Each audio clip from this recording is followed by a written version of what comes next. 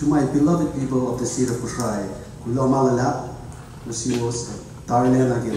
Moskewa, to me and to my other delegates.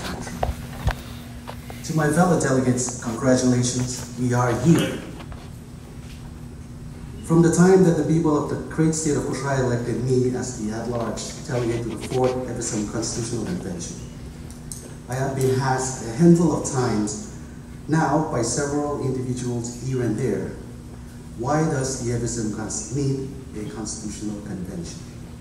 Or what could you possibly do to the FSM Constitution?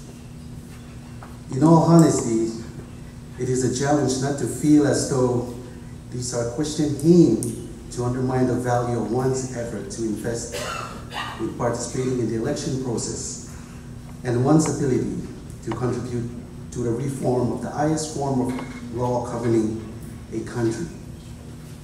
But I have had time to think about these questions and I recognize that these are crucial questions that every delegate in this room, myself included, must address for the people that we represent but most importantly for ourselves. In answering these questions, we determine the reasons why we are here. Why does the FSM need a constitutional convention? Because it is in the nature of all things through time to change.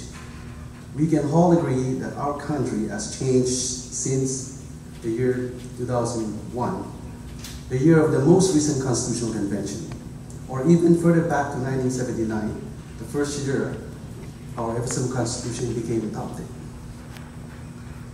The origin of the word constitution is Latin, constitutus, which means the setup, with the suffix ion denoting condition, how something is. Constitution is therefore literally the setup of how something is. The FSM Constitution as the Mazhab Talet, shrine for the supreme law of the land, needs to encapsulate what is important and relevant to the people of our country today. It needs to encapsulate the people's will. It is the people's will that has brought all of us here. The people chose us and have entrusted to each one of us to be their voice their hand in holding the highest form of law that govern their everyday lives.